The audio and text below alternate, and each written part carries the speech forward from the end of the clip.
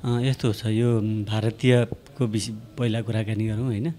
सरस्वती हेर्दाखेरि चाहिँ भारतीय जुन प्रधान सेनापति छन् अहिले नेपालमै यो चाहिँ नियमित खालको कुन हिसाबले नियमित खालको हो भने नयाँ प्रधान सेनापति आइसकेपछि उसले चाहिँ नेपाल भ्रमण गर्छन्। किन गर्छन् भने उनलाई चाहिँ नेपाल र भारतका चाहिँ प्रधान सेनापतिहरू एक अर्को देशको चाहिँ मानार्थ प्रधान सेनापतिको दर्जा नि दिने चलन छ होइन। त्यसै हिसाबले चाहिँ एक त्यस हिसाबले चाहिँ यो चाहिँ नियमित खालको भ्रमण हो भारतीय प्रधान सेनापतिको सन्दर्भमा। र चाहिँ चिनिया जुन रक्षा मन्त्री नेपाल आउनुभयो general Chang Kwan Wan Chang उहाँको चाहिँ केही समय अगाडि हाम्रो रक्षा मन्त्री चाहिँ चिन भ्रमणमा जानुभएको थियो र उहाँले चाहिँ नेपाल भ्रमणको निम्तो दिनुभएको थियो। त्यसै योजनाअनुसार चाहिँ उहाँ नेपाल भ्रमणमा आउनुभएको हो। तर पनि यो भ्रमणको दुईवटा स्ट्राटेजिक रणनीतिक खालको महत्त्व चाहिँ छ। किनभने चिनिया रक्षा मन्त्री चाहिँ ठ्याक्कै यही समयमा किन आउनुभयो भने केही समय पछाडि चिन र चाहिँ नेपाल बिच नेपाली चिनिया जनमुक्ति सेना र नेपाली सेना बिच चाहिँ संयुक्त सैनिक अभ्यास हुँदैछ। त्यस हुनाले त्यो सैनिक अभ्यासकै सिलसिलामा चाहिँ यसभन्दा अगाडि पनि चिनिया भ्रमणहरू भइरहेका छन् सैनिक भ्रमणहरू र त्यसैलाई अरू चाहिँ विश्वासिलो बनाउनको लागि त्यसको महत्त्व अरू बढाउनको लागि चाहिँ उहाँ नेपाल भ्रमणमा आउनुभएको हो। यो दुइटा भ्रमणको महत्त्व सिग्निफिकेन्स चाहिँ यही हो। होइन यसको नेपालको रणनीतिक महत्त्व हो यसको चाहिँ जुन हामी जुन जियो पोलिटिकल कन्टेक्स्ट स्थितिमा छौँ नि चिन र भारत दुइटैको लागि चाहिँ नेपालको महत्त्व छ। भारतको लागि किन महत्त्व छ भने उसले अहिले पनि अरू थुप्रै विषयमा चाहिँ चिनसँग सहकार्य भए पनि सामरिक हिसाबले दुईवटा प्रतिस्पर्धी मुलुक हुन्।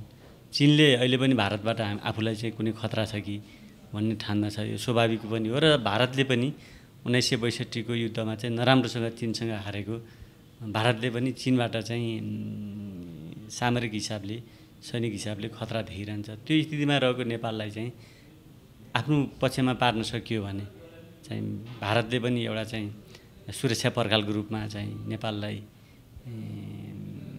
हेरिरहेको स्थिति।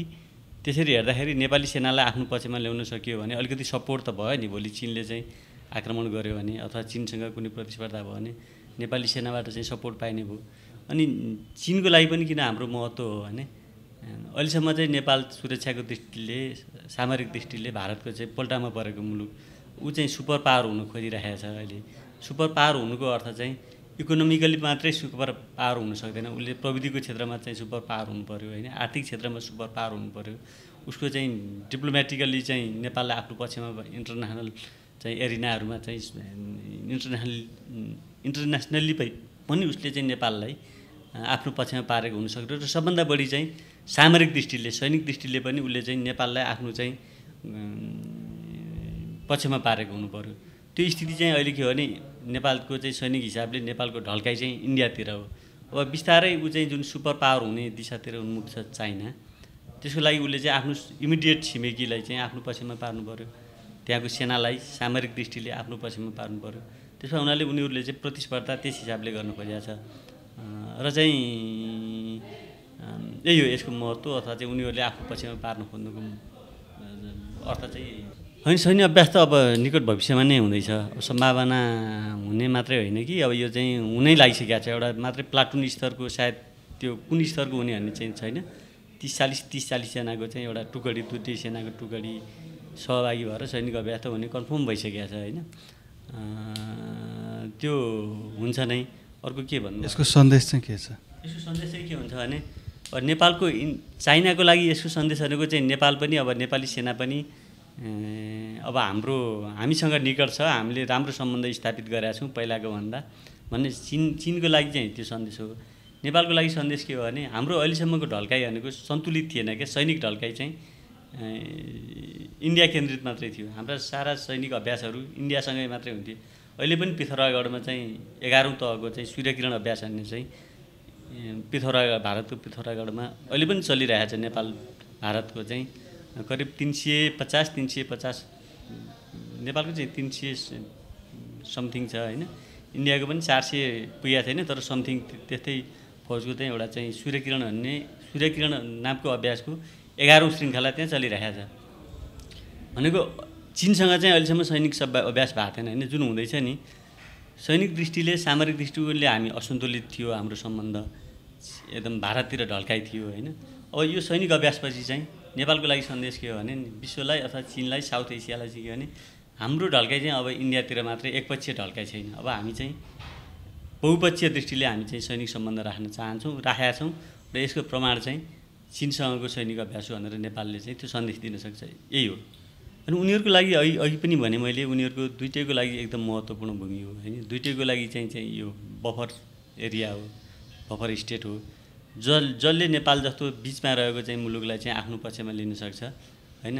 नेपालको चाहिँ त्यस दृष्टिले चाहिँ उनीहरू चाहिँ थोरै सबल हुन सक्छन् होइन?